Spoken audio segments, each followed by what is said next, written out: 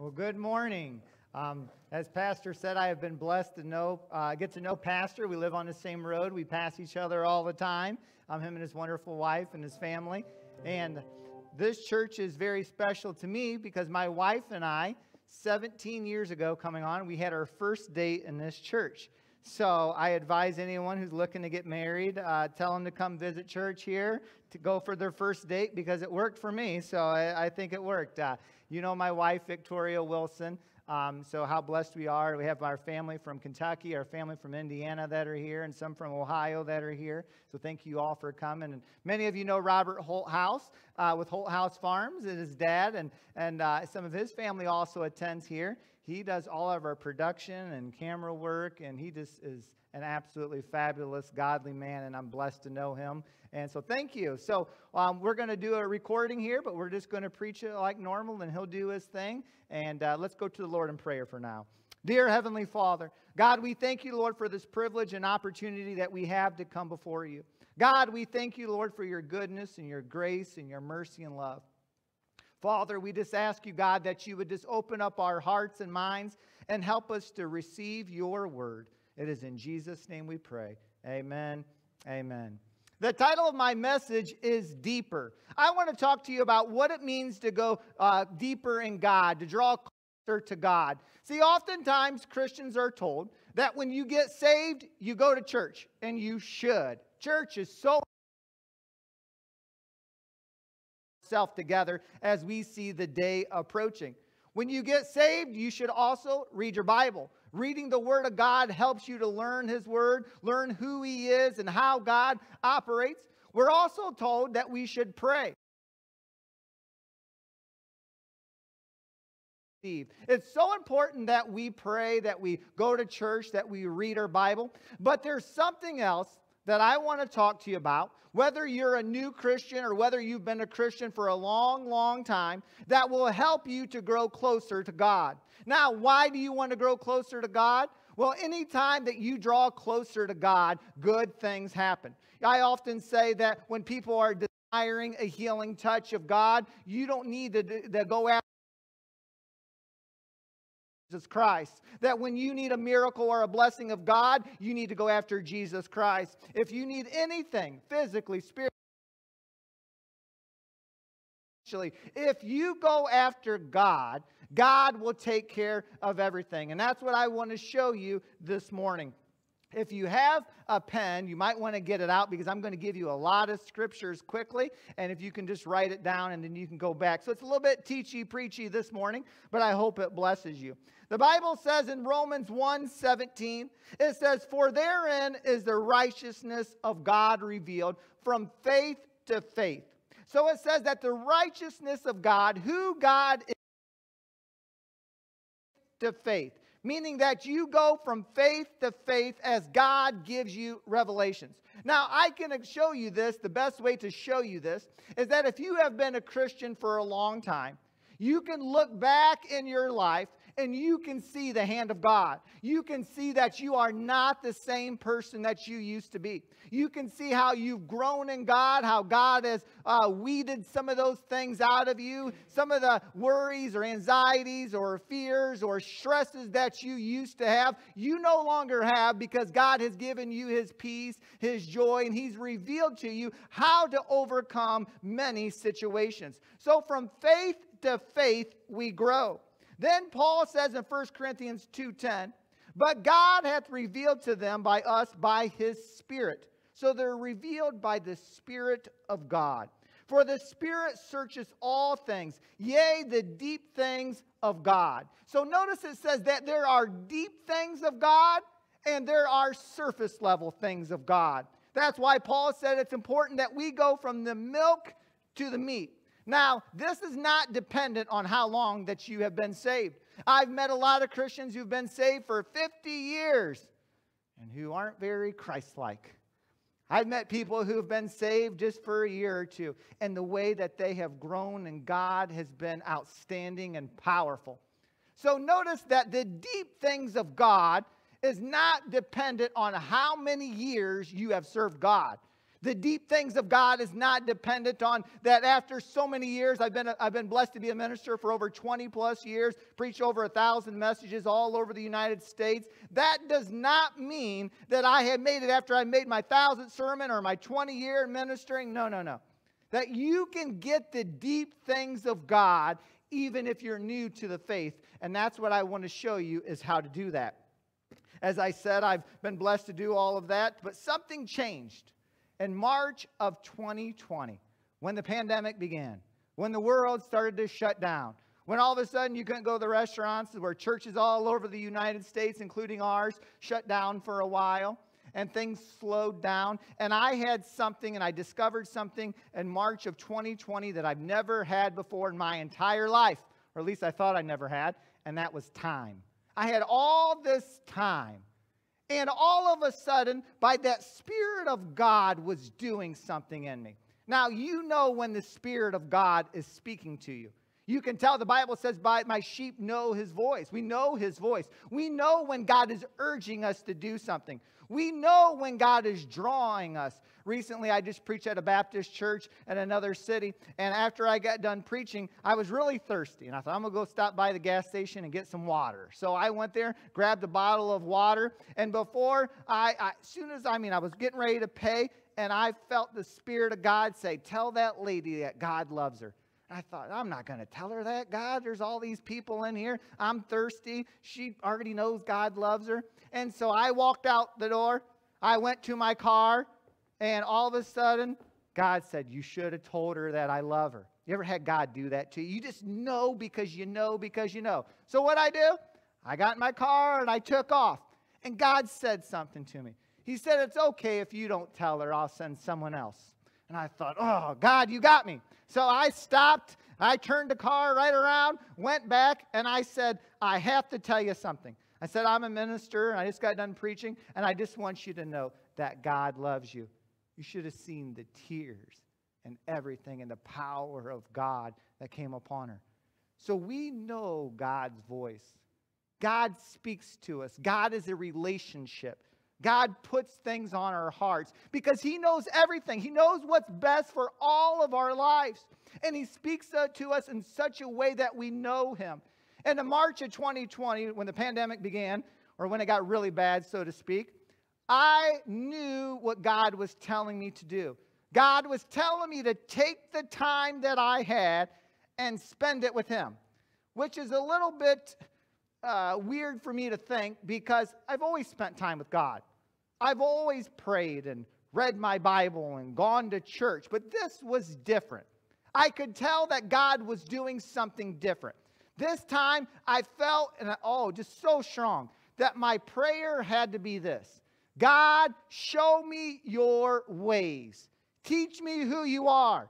And again, this didn't make sense to me because after 20 years, I don't know everything about God, but I've learned a lot about God. You know, I've been, I went to Bible education. I have degrees in Bible. I've been ministering for 20 years. I know God.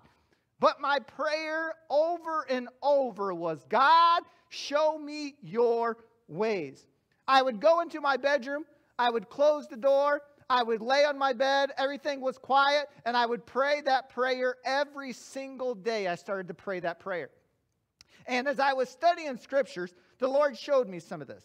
In Exodus 33 13, it says, Now therefore I pray thee, if I have found grace in thy sight, show me thy ways, that I may know thee. So Moses, here he had led the children of Israel. God used him to set them free. And here Moses, this great man of God, if anybody knew God, Moses knew God. And Moses said, Show me your ways. Teach me who you are, God. And then David said in Psalm 25, 4, Show me thy ways, O Lord, teach me thy paths. Then he says again in Psalm 86, 11, Teach me thy ways, O Lord. He says these great men of God are praying, Lord, teach me you. And I thought, well, I'm no Moses and I'm no David. And if it's good enough for Moses to pray and David to pray, it's definitely good enough for Ricky Branham to pray. So every single day, that's what I prayed. Lord, show me your ways. And as I would go into my bedroom and as I would close everything out, I came across this scripture.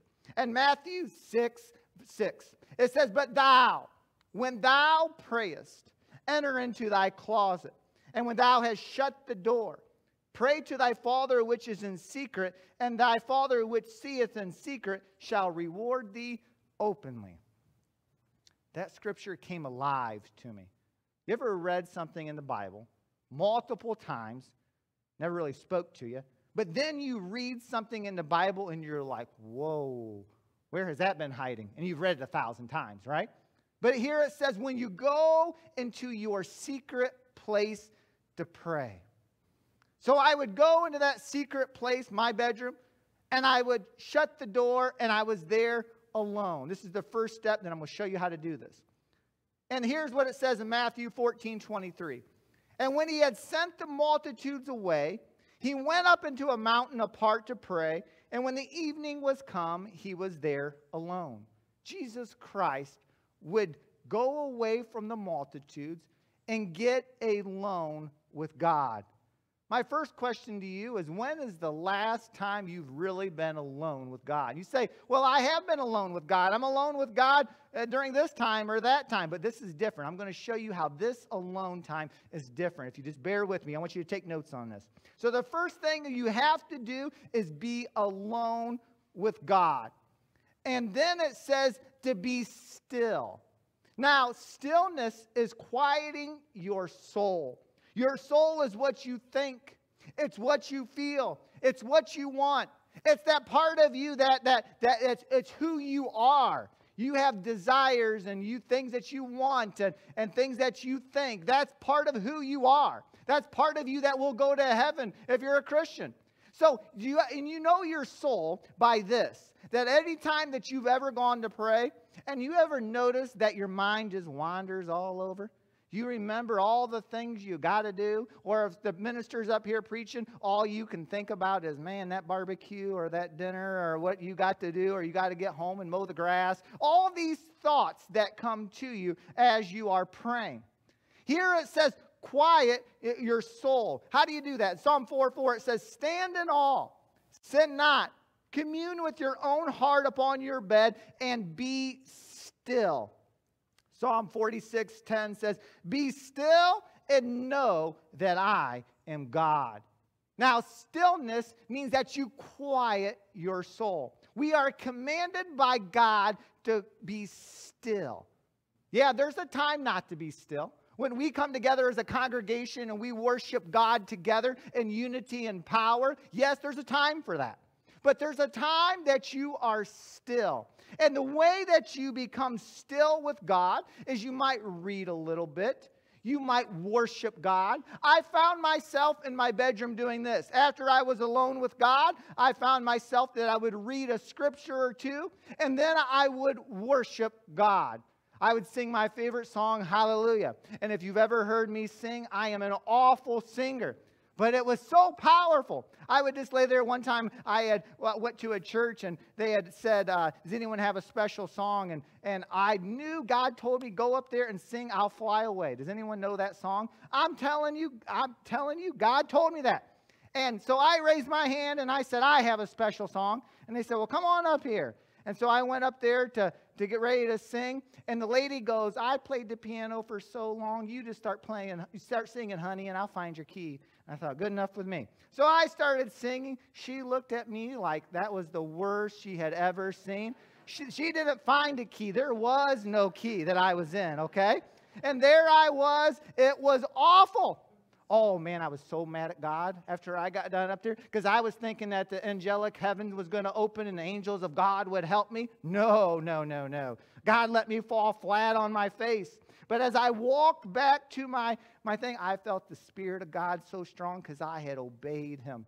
And I said, God, don't ever do that again, please. And thank God He never has. But I was obedient. I passed the test, right? But I knew God's voice. And there's a time that you have to be still with God. And I would be still and I would sing that song, Hallelujah. And I would just worship God. And then I would be quiet.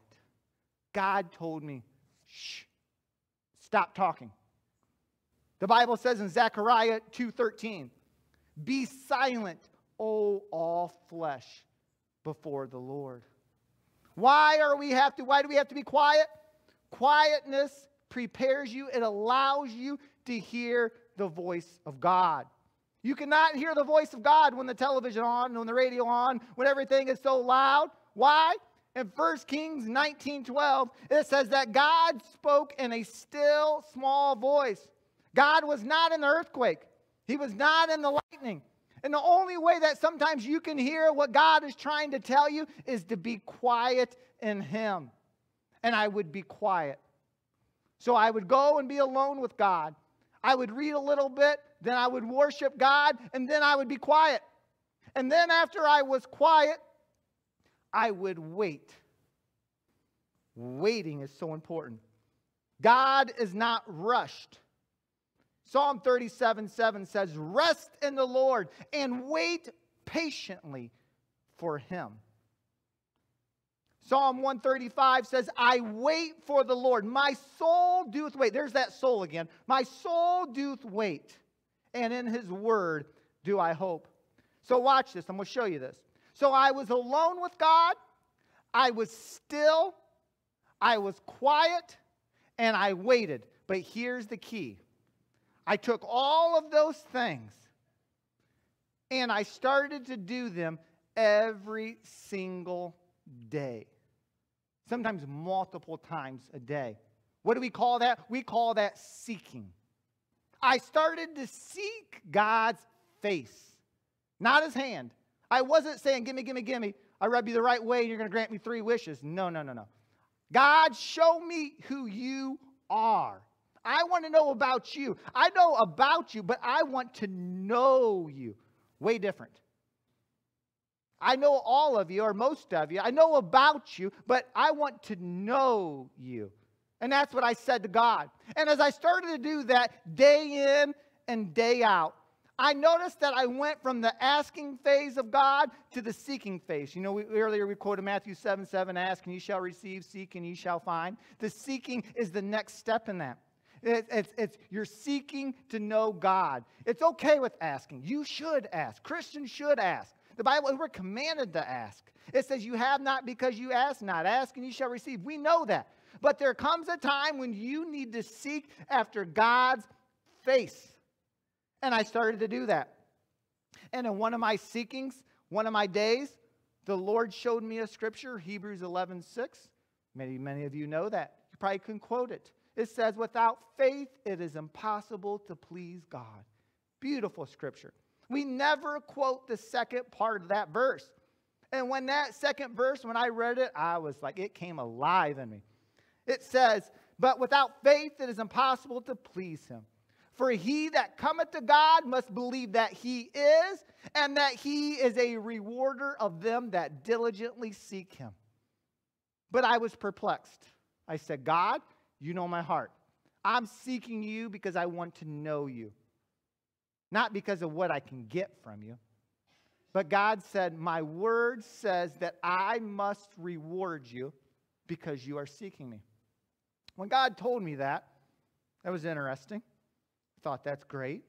Didn't think much about it, though, to be honest with you. Yeah, God will bless me. Thank you, God. Not really what I'm after. Okay, sure. So life went on, and I continued to do those things. I continued to be alone with God, be still with God. I continued to be quiet with God. I continued to wait on God, and I did it on a regular basis. And then on one of those times, one of those occasions, God told me that I want you to do social media ministry. And I thought, oh no, Lord, I don't want to do social media ministry. I purposely have stayed away from social media ministry. But I knew God's voice, I knew it. And I said, All right. So what did I do as soon as I got done hearing from God? I went and ordered a $1,000 iPad.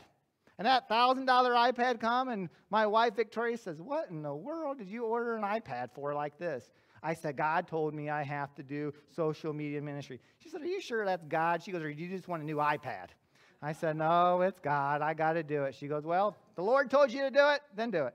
She knows how it works being a, a minister's wife. If God tells you to do it, you better be obedient. We've learned that a long time ago. So I obeyed, started it. Everything went good. Didn't think much about it. Church was happy because they got to hear messages while they couldn't attend church during the pandemic. Yada, yada. Life was good. Okay, great. But what I didn't know was that later that year, a television minister who I didn't really know would come up to me and say, Hey, I've been watching your program every week. And he said, It's very biblical. He goes, You should go into television ministry. I thought, What in the world? And when he said that again, though, I know the voice of God. There it was. I said, God, this is my next step. But I told God, I said, God, I live in Willard, Ohio, lest you forget. We're a town of 6,000 people. We don't have sprawling television stations all over, nor do we have this, that, and that. I said, God, if it's you, you ever done this to God? God, if it's you, and you show me, right? You ever said that to God? So I said, sure. You confirm it, God. That's what we call it. We call it the Christian term. We get, you confirm it, God. So I said, you confirm it, God. And the next thing I know, I meet some guy out of Spartanburg, South Carolina, who's a Christian television agent, and says, hey, we want you on our uh, network, wants you, national network. He said, We're going to send you out to 36 million people every United, all throughout the United States every single week. And it's going to air all over. And then he said, he kept going on and telling me about all this. And he says, It's Oral Roberts Network. And he said, They're really interested and went through all this. And I, I said, What do I got to do? He says, Well, they got to review you completely. He says, They're going to go through every single thing that you do and look for, through everything to see if you're accepted. And I thought, Well, Lord, if this is what you want, then so be it. And then he called me the next week and said, You're accepted. We're ready to go. I said, Now what? He goes, Well, now you need a production company, and now you need a closed captioning company. I said, I live in Willard, Ohio. I don't even know what that is and how God worked it out. And then they set me up with a, a, company out of California who does all of our closed captioning. God sent me Robert, my cousin, who's just gifted and talented beyond measure. And God just worked it all out. And I said this to God. And God, after all this started happening, God said, Didn't I tell you that I would reward you because you sought me? I've seen more people come to Jesus Christ in eight months than I've seen in 20 plus years of evangelism. I've seen the power of God move in mighty way, and I can't take an ounce of credit for it. I said, God, why are you rewarding me this way? He said, I'm going to give you a desires of your heart and reward you. He says, but you must take your reward. This is important, and we'll come back to this. You must take your reward and use it and glorify me. Anything and everything that I bless you with, it's to glorify me. It's not so that you can build bigger barns and so that you can take your soul at ease. You remember the parable of the man who did that, right? No, this is so that you can take whatever God blesses you with and so that you can use it for Him. God might bless you with more peace, more joy. He might bless you with just something that someone needs, whatever it might be. God will take you and reward you and bless you. And then it is your job to use it to glorify God. But that's not where God stopped. See, I was understanding, and you know how we read all those scriptures in John 10 10, how the thief cometh to kill, steal, and destroy, but I've come that you might have life and life more abundantly. And then we read in Psalm 23 3, where David said, My cup overfloweth, runneth over. You know, all those scriptures. And so God didn't just open up and reward me. Then I started to notice things that blew my mind. I would read the Bible and I would have these messages and these revelations of things that just astound me. This is one of those messages about going deeper in God. And I would have these things that would come together, and I have all these things that just I just have a hard time understanding. And I have all these book ideas, and, and, a, and, a, and a minister out of Houston is talking with me about our first book and all this stuff. And all these things just started to come like never before. And I've been ministering 20 years. But it was a different revelation. It was a, a different anointing. It's nothing that I did, but I knew that it was all because I was seeking to know God and I was finding God. And God's word says that He must reward those that seek Him, which is why I said earlier if you need a healing touch, seek Jesus. If you need a financial miracle, seek Jesus. If you need a mar- marital miracle, seek Jesus. Whatever it is, whatever problem you have, the answer is seeking the face of God. That's the answer. That's where you receive the blessing of God. And then, as that started to happen, God started to speak to me in new ways through dreams and visions. And when you start talking about that, everyone's like, ooh, dreams and visions. No. Things that were like, I can't even be, begin to explain to you. I'll tell you a few of them, though. I was in a, had a dream that my friend, I saw the Spirit of God, and I met with the Spirit of God in this field. And he told me my friend's name, and he says that this person is seeking, is seeking me, but they don't know what to do, Ricky. You need to call him. And I had that meeting in the field with God. And I called my friend up the next day, and I thought, oh gosh, this ain't going to go good. Because I really don't know. I know him, but I don't know. He's my friend, but not like that, you know? But I called him up and I said, hey, uh, I had a meeting with God in the field, and your name came up. And, and so I told him my dream. Started bawling. He goes, Ricky, I was just asking God what it is I need to do and how to do it. And I thought, okay, that one was from God. You know how you can tell? It's like, all right, that one wasn't crazy. That was God. And then I started to have dreams and I started to see words that didn't make sense in my dreams. And I would look them up all throughout Google. They're not in there. And the Lord told me they're heavenly words and He'll show me the meaning in His time. I had a dream of one time I was dealing with a situation and I saw Matthew 16 23 in a dream.